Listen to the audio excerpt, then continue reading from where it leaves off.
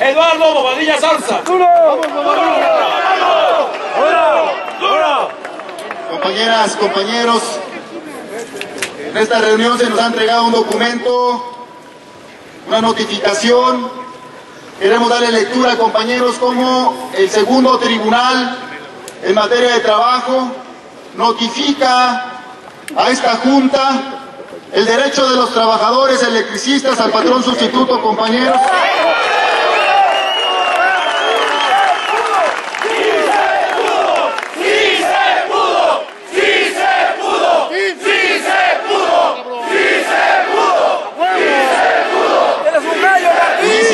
Compañeros. Oficio número 11996. Al ser presidente de la Junta Especial número 5 de la Federación de Conciliación de Arbitraje presente, en 227 fojas útiles, remito a usted términos de la ejecutoria dictada en el expediente número TT-1337 diagonal 2010 formada con motivo de la demanda de amparo formulada por el Sindicato Mexicano de Electricistas, por sí y en representación de sus agremiados, contra los actos de la Junta, devolviéndole en 2.505 fojas útiles el expediente laboral número cuarto romano, diagonal 239, diagonal 2009, el cual consta de tres tomos. Sírmase usted, ordenar que se me acuse el recibo correspondiente así como informar sobre el cumplimiento que dentro del término que se refiere el artículo 105 y 106 de la ley de amparo se da a dicha ejecutoria. Reitero usted mi atenta consideración en México Distrito Federal a 9 de octubre del 2012. El secretario de Acuerdos del Segundo Tribunal Colegiado en materia de trabajo del primer circuito, Gustavo Adolfo Talavera Campos. Y en la parte posterior, compañeros, está el sello de la Junta Federal de Conciliación y Arbitraje, donde la reciben el día 9 de octubre del 2012 a las 17.54 horas, compañeros. Aquí está el documento, compañeros, donde obliga a la Junta Federal de Conciliación y Arbitraje de cumplimiento de la ejecutoria del segundo tribunal, camaradas. Para esto, compañeros, vamos a cederle el uso a la palabra a nuestro compañero que nos ha llevado hasta aquí para lograr la victoria, a nuestro compañero secretario general,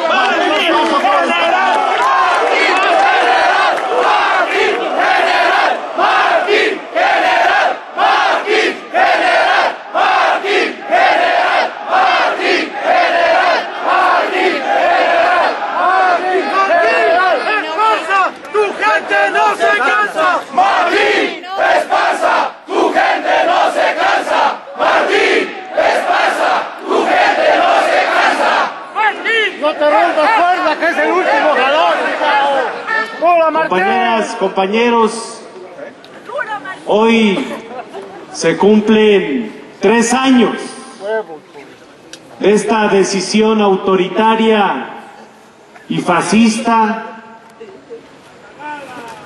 del que se dijo ser presidente del empleo,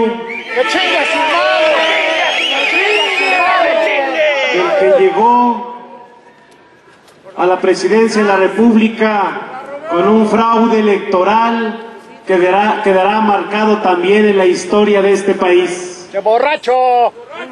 ¡Espurio! de un gobierno panista que todos los días ha luchado para beneficiar a la oligarquía nacional y extranjera, de un gobierno de un partido político que es enemigo de los trabajadores en este país. Tres años de todo ese aparato de Estado para aplastar, aniquilar, extinguir, no a luz y fuerza del centro, porque eso jamás lo van a poder hacer. Porque luz y fuerza del centro es una industria, compañeros. Es la industria eléctrica.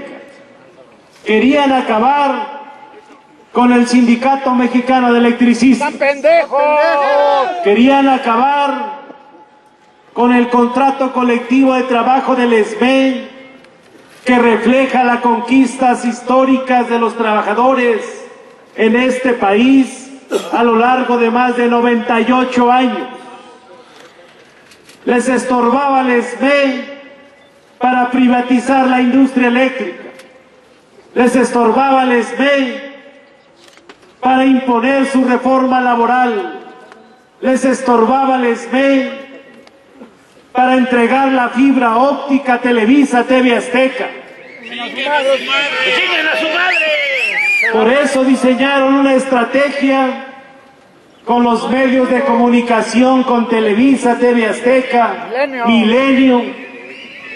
Compraron con migajas a un grupo de traidores encabezados por Alejandro Muñoz, por Jorge Sánchez.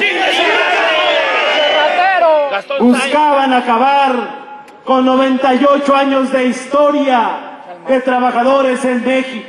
¡Se la pelaron! Por eso utilizaron al ejército, a la marina, vestidos de PFP, entraron por la noche Como la con las capuchas, utilizando la oscuridad de la noche y un partido de fútbol para poder entrar a los centros de trabajo, asaltar los centros de trabajo. Por eso entraron a Luz y Fuerza a quitar el escudo de Luz y Fuerza para que todos se fueran a liquidar. Campaña criminal de linchamiento en contra de un servidor, en contra del Comité Central. Nos boletinaron en todo el país para no nos dieran trabajo en ninguna empresa pública o privada. ¡Qué poca madre! Fue un daño moral a las familias, a los trabajadores. Cuando todas estas generaciones de electricistas, lo único que hemos hecho es construir la infraestructura eléctrica que le da desarrollo económico y social a nuestro país. Lo que hemos hecho es tener un sindicato democrático e independiente, un sindicato de izquierda, nacionalista, que ha sido solidario con todos los movimientos sociales nacionales y extranjeros. Pero para la derecha les estorbaba el SME y a tres años de ese golpe de Estado podemos decir que el primero de julio de este año los mexicanos le dieron el voto de castigo al Partido de Acción Nacional, se larga Felipe Calderón, se larga el PAN para siempre, camarada, y para siempre quedará en este país el ESME, camarada. Porque el ESME es patrimonio de la clase trabajadora nacional y mundial, camarada. Hoy tienen unas horas, unas horas esta junta ¡Duro, Martín! a que emita un nuevo laudo que resuelve de manera colectiva la vigencia del contrato colectivo de trabajo, compañeros. Le quedan una hora, unas horas a la Junta. ¡Aquí se ve la fuerza del SB! ¡Aquí se ve la fuerza del SB! ¡Aquí se ve la fuerza del SB! ¡Aquí se ve la fuerza del SB! ¡A huevo, cabrón! La lucha de todos por preservar el contrato colectivo de trabajo. Se reconoce al sindicato. El contrato colectivo hoy se lo vamos a llevar al Senado de la República porque ese sí es un verdadero proyecto de reforma a la ley federal del trabajo, compañeros. No lo que quieren hacer ahí de darle más facultades a los patrones para acabar con el derecho legítimo a la estabilidad en el empleo, a la jornada de ocho horas, a tener pres- prestaciones, a poder cotizar para una jubilación, una pensión o una vivienda. Quieren acabar con todo ese artículo 123, que ese es el triunfo de la revolución de 1917, camaradas. Le quedan unas horas a esta Junta de Asuntos Colectivos para que en el nuevo laudo se diga que se cumplen con las dos hipótesis para reconocer a CFE como el patrón sustituto de los trabajadores del Sindicato Mexicano de Electricistas. Y de ahí veremos en la demanda de asuntos individuales cuál va a ser la respuesta de esta Junta.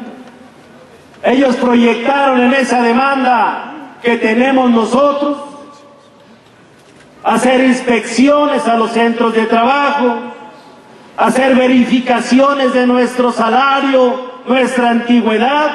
Dijeron de 20 en 20 para que vengan los electricistas. ¡Poca madre! Y proyectado al tiempo, nos íbamos a tardar unos 20 años.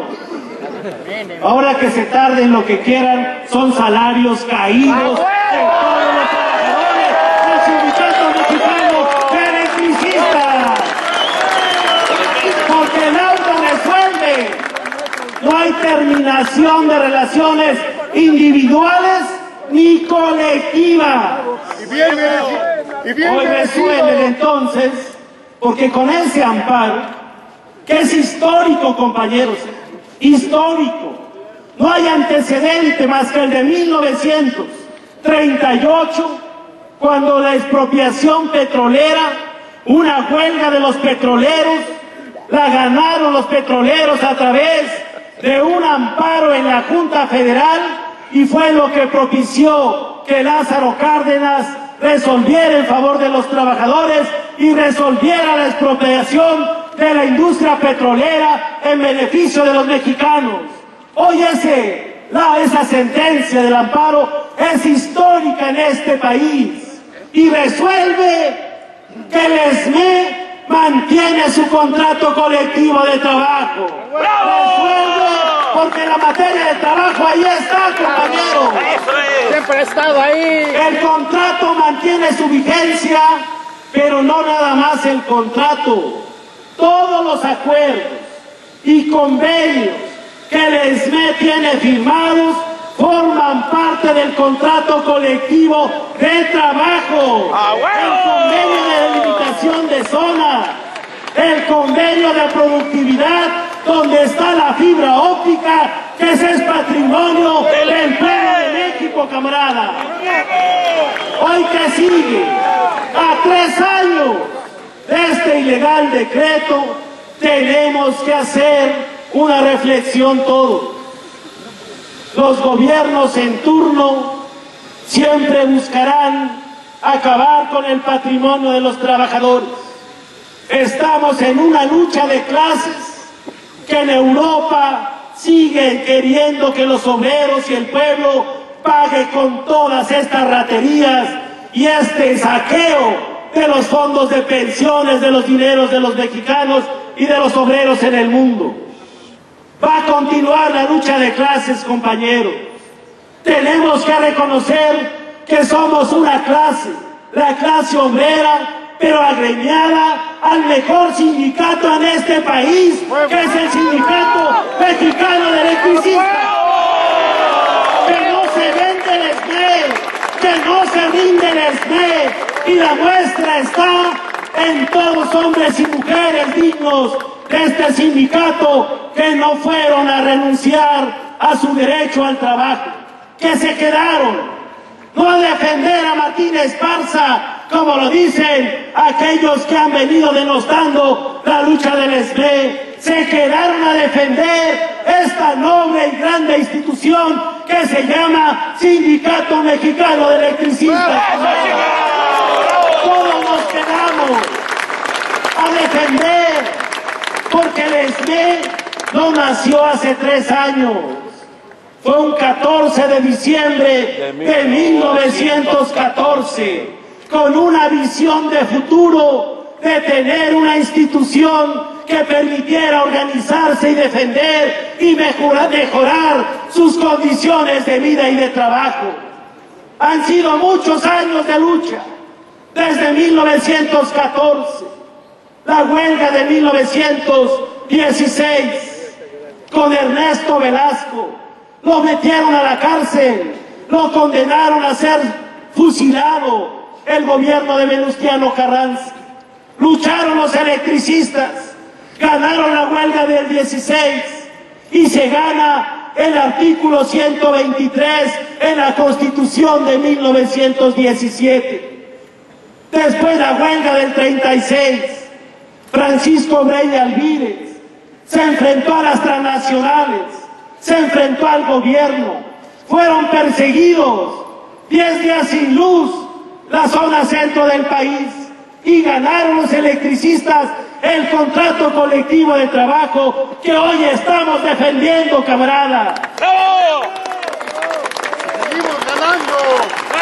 Los electricistas del ESME impulsaron la nacionalización en 1960. Luis Aguilar Palomino atravesaba ahí la Plaza de la Constitución a un lado de Adolfo López Mateos. El ESME menciona al pueblo de México todo el saqueo que estaban haciendo las transnacionales del sector eléctrico. Lo mismo que hoy ocurre, compañeros. El saqueo del sector eléctrico de las empresas principalmente españolas. Y esa lucha la impulsó el Sindicato Mexicano de Electricistas. De ahí para acá hemos defendido la industria eléctrica, cuando Cedillo quiso privatizar, no salió el ESME a recorrer todo el país, ¡A huevo! levantar la protesta para defender la industria eléctrica nacional y no cejamos en la lucha hasta que la iniciativa de Cedillo se fue al bote de la basura. Después vino Fox a hacer lo mismo, a querer acabar con la industria eléctrica, quiso acabar con la jubilación del ESME, lo frenamos, ganamos la negociación con Fox, hoy viene este apátrida de Felipe Calderón, ¡Que chingue, que chingue su madre!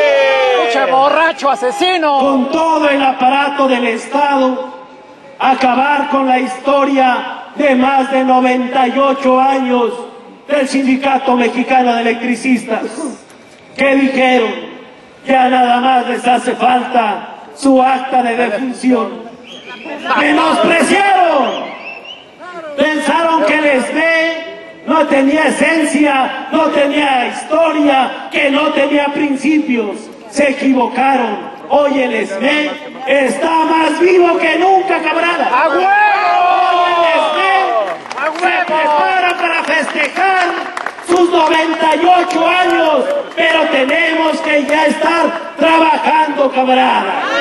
¡Eso chinga! Y preparar el festejo de los 100 años del glorioso Sindicato Mexicano de Electricistas. Y será con la libertad de nuestros presos políticos. También, claro que sí. 11 presos que están en las cárceles del gobierno. La única osadía es que hemos levantado la voz. Ya estaban acostumbrados los obreros, los mexicanos, a que era una decisión del presidente y ya no había que hacer nada. Se equivoca. El presidente está para defender, para respetar la constitución y los derechos de los mexicanos, compañeros.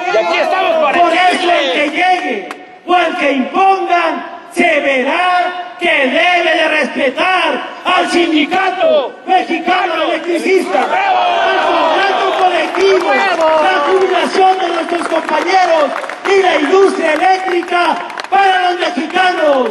¡Que viva la resistencia! ¡Que vivan los presos políticos! ¡Que viva el sindicato mexicano de electricistas! ¡Ya ganamos! ¡Que viva el SME, compañeros! ¡Muchas gracias!